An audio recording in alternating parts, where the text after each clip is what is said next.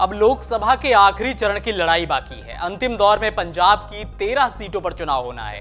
पंजाब में मतदाताओं का मूड बहुत अप्रत्याशित रहा है। पंजाबी लोग हमेशा कुछ अलग तरह से वोटिंग करते रहे हैं। देश के मूड के साथ भी उनका मूड हो सकता है और नहीं भी। 2014 में आम आदमी पार्टी को चार सीटें देने वाले पंजाब ने 2019 में केवल एक ही सीट दी। पर 2022 आते आते आम आदमी पार्टी ने विधानसभा की तीन चौथाई सीटें जीत ली। पर 2022 में सीएम भगवंत मान की छोड़ी हुई संगरूर सीट पर पंजाबियों ने आम आदमी पार्टी को बाहर भी कर दिया। ऑपरेशन ब्लू स्टार और चौरासी के सिख विरोधी दंगों के बाद किसी को यकीन नहीं था कि यहाँ कभी कांग्रेस अपनी जड़ें जमा सकेगी। पर आज प्रदेश की सबसे मज़बूत पार्टी के रूप में कांग्रेस ही विराजमान है। सवाल उठता है, किसान आंदोलन के चलते बीजेपी को गाँव में नहीं घुसने देने वाली जनता क्या कभी बीजेपी को ताज पहनाएगी? क्या इसका जवाब यही है? तो इसका जवाब यही है कि कुछ कहा नहीं जा सकता।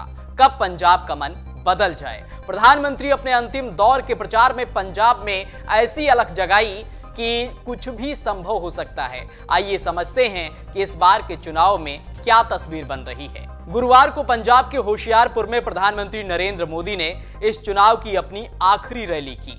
उन्होंने लोगों को संबोधित करते हुए कहा कि पंजाब हमारे भारत की पहचान है ये हमारे गुरुओं की पवित्र भूमि है। पीएम मोदी ने इस दौरान कहा कि अयोध्या में राम जन्म स्थान के लिए पहली लड़ाई सिखों ने ही लड़ी थी। यूँ तो पीएम मोदी ने भाषणों में आरक्षण, धर्म और कांग्रेस के भ्रष्टाचार, मुस्लिम तुष्टिकरण की बातें प्रमुखता से रखी, पर पंजाब में उन्होंने राम जन्मभूमि की चर्चा कर हिंदू वोटों पर अपने एकाधिकार का संकेत दे दिया। दरअसल पंजाब में हिंदुओं का ज़्यादातर वोट कांग्रेस को मिलता रहा है। पीएम जानते हैं कि पंजाब में उनतालीस प्रतिशत वोट हिंदू हैं। इसके साथ ही करीब 34 प्रतिशत अनुसूचित जातियों के वोट हैं। उनकी स्पीच में हिंदुओं के लिए राम मंदिर, अनुसूचित जनजातियों के कोटे को मुस्लिम आरक्षण से बचाने की बात मुख्य रूप से रही। राम मंदिर का मुद्दा किस तरह ज़ोर पकड़ रहा है, यह कुछ दिन पहले पटियाला की रैली से दिखना शुरू हो गया था। यहाँ की रैली में एक समर्थक राम मंदिर की प्रतिकृति लिए खड़ा हुआ दिखाई दिया था। एक जून 2024 को ऑपरेशन ब्लू स्टार के 40 साल होने जा रहे हैं, लेकिन पंजाब की चुनावी राजनीति में पहली बार ऑपरेशन ब्लू स्टार को लेकर मुख्य धारा की राजनीति हो रही है। सिखों की सर्वोच्च संस्था शिरोमणि गुरुद्वारा प्रबंधक कमेटी की तरफ़ से ऐसी कोशिशें हो रही हैं कि लोगों को इसकी याद दिलाई जा सके, यादें ताज़ा की जा सके। शिरोमणि अकाली दल भी चुनावी रैलियों में इसे खूब हवा दे रहा है। जब तक बीजेपी साथ थी, Akali Dal operation blue star की सालगिरह से जुड़े कार्यक्रमों से एक निश्चित दूरी बनाने की कोशिश करता रहा। पर अब वो भी स्वतंत्र है। अकाली दल को पता है कि उसे हिंदू वोट अब मिलने से नहीं है तो कम से कम सिखों के सारे वोट तो मिल सके। ज़ाहिर है कि अकाली दल जितना कट्टरपंथी होगा, जितना ऑपरेशन ब्लू स्टार की बात करेगा, उतना ही हिंदू वोटों का ध्रुवीकरण होगा। जब कैप्टन अमरिंदर कांग्रेस के साथ थे वो हिंदू वोटों को साधने में बाजी मारते रहे। अब कांग्रेस के पास ऐसा नेतृत्व नहीं है और दूसरे बीजेपी के पास अब हिंदू वोटों के लिए खुलकर खेलने का मौका है। जिस तरह अकाली दल सिख वोटों के लिए खुलकर बैटिंग कर रही है, ठीक उसी तरह भविष्य में बीजेपी भी कर सकती है। अकाली दल ने ऑपरेशन ब्लू स्टार की याद दिलाने के लिए जगह जगह बैनर, पोस्टर तो लगाए ही हैं। एसजीपीसी की तरफ़ से प्रवेश द्वार पर क्षतिग्रस्त अकाल तख्त इमारत का एक मॉडल भी लगाया, दिखाया गया है।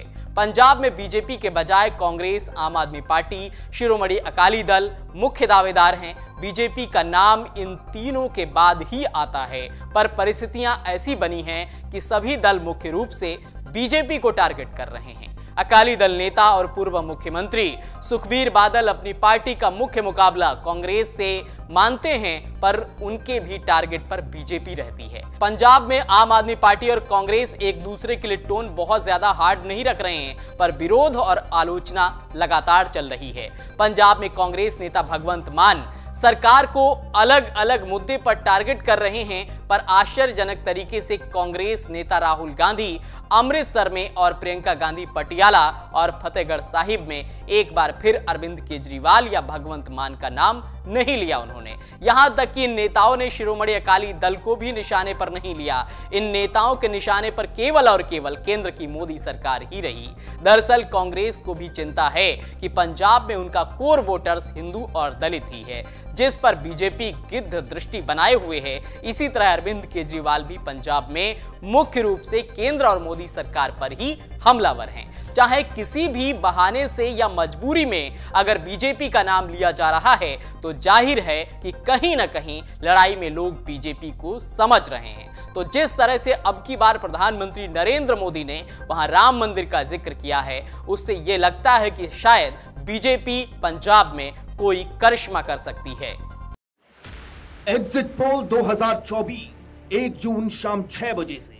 लोकसभा चुनाव के नतीजे 4 जून सुबह सात बजे से।